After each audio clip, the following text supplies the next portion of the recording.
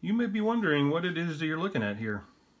Well, for a long time I've been meaning to build a CB2 sound mod for my PET 2001 computer. And I've been putting it off for a long time, but more recently I started playing around with one of these.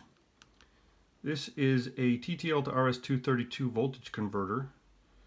And uh, had this hooked up to the PET kind of in a makeshift manner to connect up to uh, serial devices, modems and uh, Raspberry Pi, etc.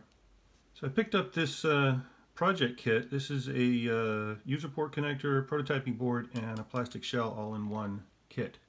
So I figured everything would fit in here and I decided to put it all together in one package. We have a piezo speaker here that goes through a uh, headphone jack. Signal comes from CB2 pin M and uh, goes to the switch. And then from the switch it goes through a 1K resistor to the headphone jack and then from the headphone jack to the piezo speaker.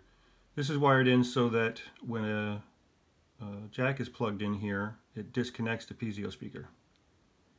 I also decided that it would be nice to be able to listen to the cassette data as it's being played so that is here on pin 6. That goes to a 10K resistor to the other side of the switch. So this switch lets you select whether you're listening to the cassette or to uh, the CB2 sound.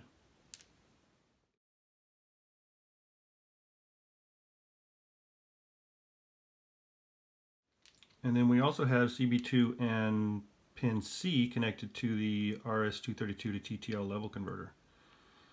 The uh, level shifter here requires 5 volts, which is not, believe it or not, is not available on the user port.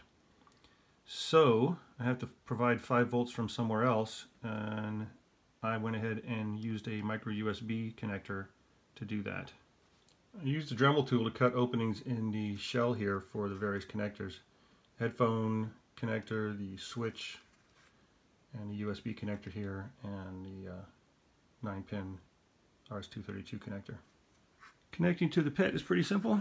Just plug it into the user port. Make sure you don't plug it into the IEEE port because it will fit there. If all you want to do is listen to the audio, you don't need to do anything else, but to use the RS-232 port, you do need to connect it up to a power source. I already have a cassette port adapter to tap 5 volts off the cassette port. I built this for another project, but it has a standard USB cable, so I can use that to plug into the USB power connector on the side here. Here's a quick demo with the switch in the sound position.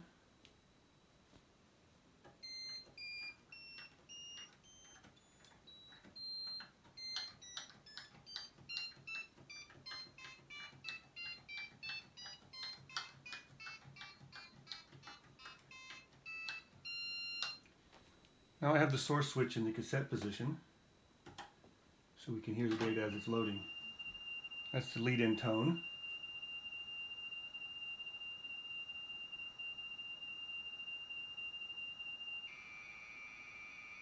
You hear a break there.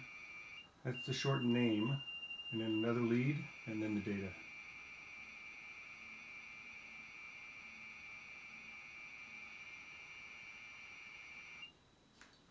The headphone jack isn't necessarily for headphones, but for powered speakers.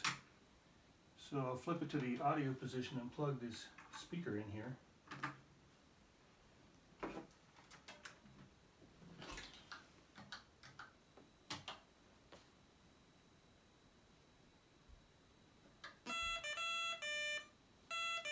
So when it's coming out the powered speaker, we have much more control over the volume.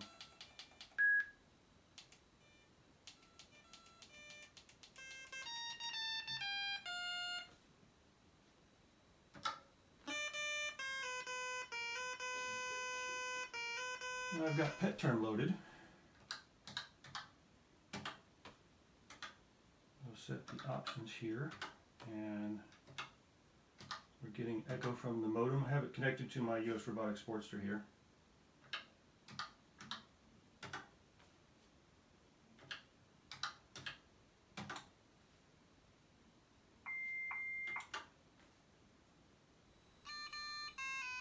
That's all there is to it. If you have any questions, feel free to leave them in the comments below. Thanks for watching.